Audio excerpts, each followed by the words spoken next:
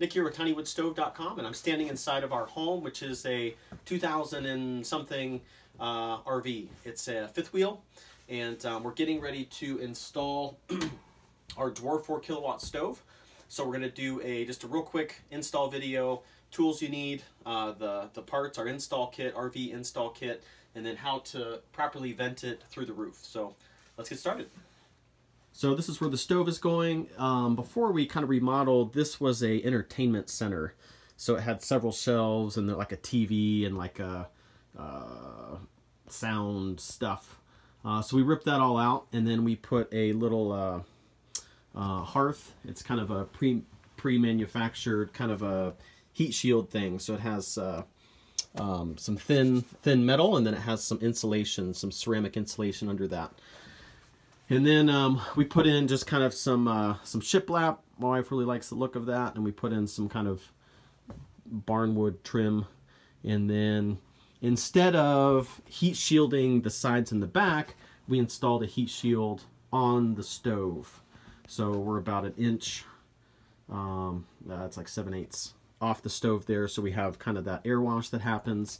And then same with the, uh, the single wall pipe, we have a, uh, a heat shield off the back so that we can keep the aesthetic of the surround and not have, you know, metal surrounding that. So when we were shopping for a fifth wheel, um, we really wanted a bunk room. And we found this at an auction. A friend is a, is a dealer, so we went to a dealer auction and we found this, which was super clean.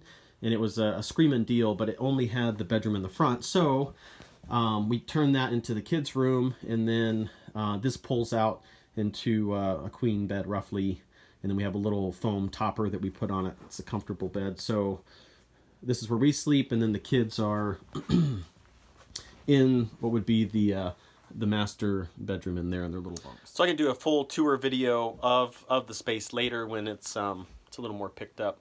Um, otherwise, my wife would kill me. So let's get back to the install. So we got our heat shield ready to go. So the uh, the first step is is we're going to mark where the holes for the mounting are going to go, and basically I just break off a little pencil and sharpen it, put it through the um, uh, the little holes. Those are the stock levelers. You pull those out, and then just kind of mark, and then you'll screw and then bolt that. And then before we move it though, after we mark it, we'll mark the center of of this hole so that we can we can uh, cut our, our penetration hole. All right, so the tools you'll need, I have uh, my jigsaw, a drill, tape measure, have a little marking device. I got the uh, the bolts there to secure that to the to the um, little platform it's on. Then I got two sizes of screw. One screw set of screws is for the uh, silicone pipe boot, and the other is to secure the roof support bracket, which is right there. We'll talk about parts in just a second. And then I have for on the roof, my roof is a uh, is a of like a vinyl sheet. So I'm going to use this uh, Dicor lap sealant over the top of the silicone pipe boot and then underneath the silicone I'm going to just use some silicone um, underneath the boot and then use that kind of around the side and over all the screws and stuff. Um, so yeah, this is basically, you know, the tools you'll need, um, at least for our setup. Let's check out the parts. Yeah.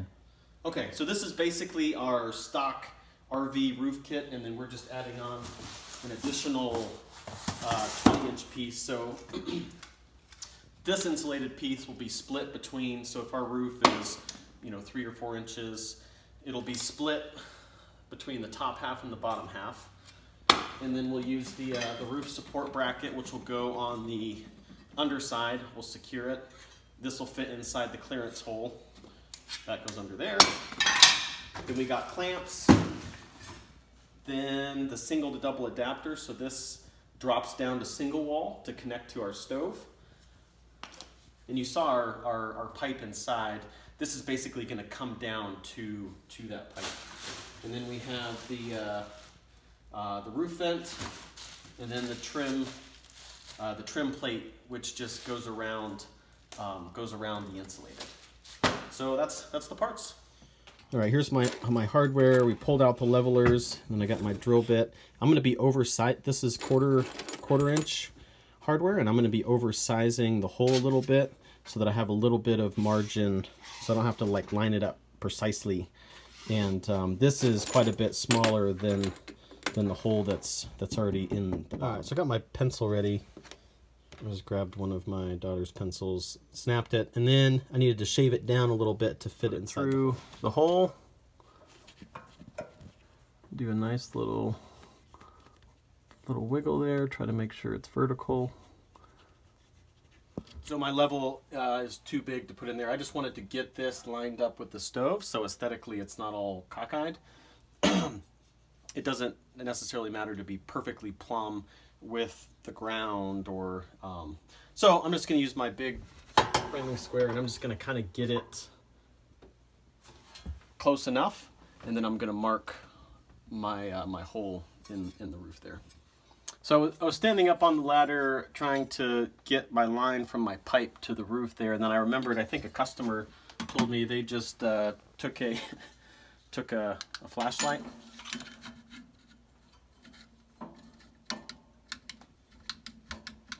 Oh, it's only two. And then uh, I'll just trace that. All right, I'm gonna drill my holes, but first I'm gonna remove my, my wife's essential oils.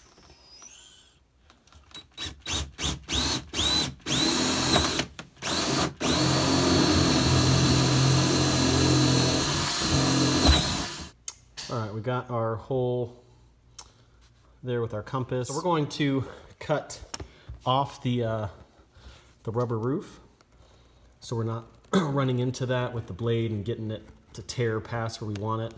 Okay, we've we've got our our hole through the top and we hit just perfectly this cross member. We were thinking that we were to maybe come up higher, but the, looks like these cross members, there's another one here, there's another one there, so it looks like they're every four inches. So we're gonna hack, uh, we're gonna hack off this one, and then we're gonna bridge it with some angle, notch out some angle steel, and then just self-tapping screws and secure it just to kind of, uh, to secure that a little bit more. Okay, here are the ribs every four inches, at least in this area of the roof.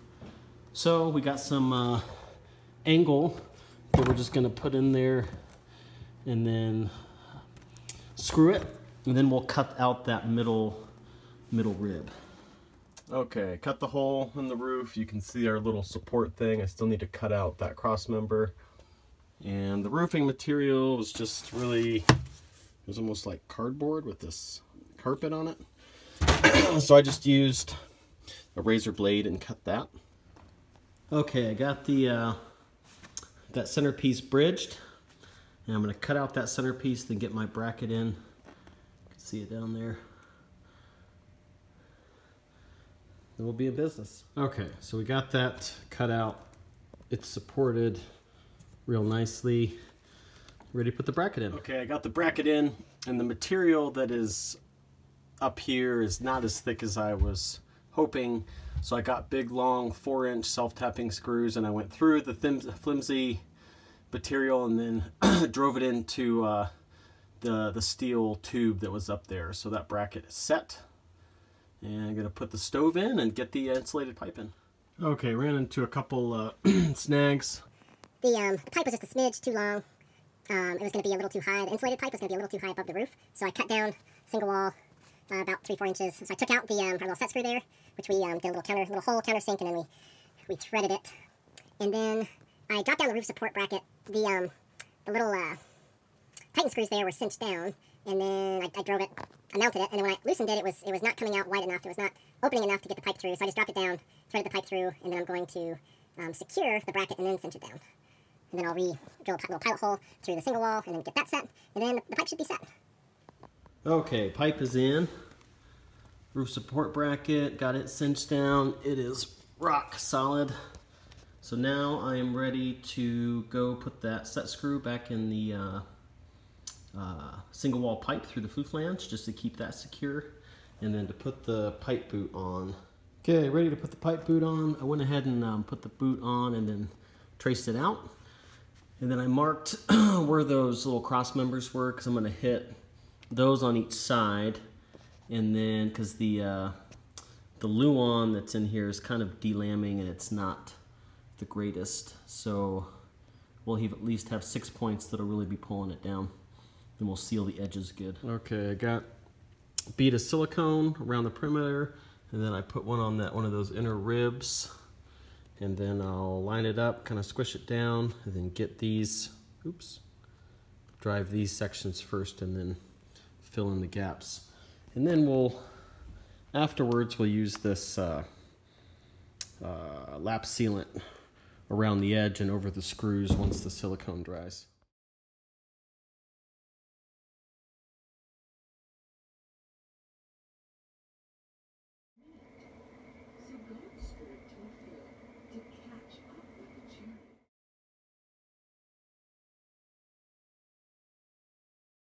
Washed away the hen house. The girls pushed the door shut, and then the wave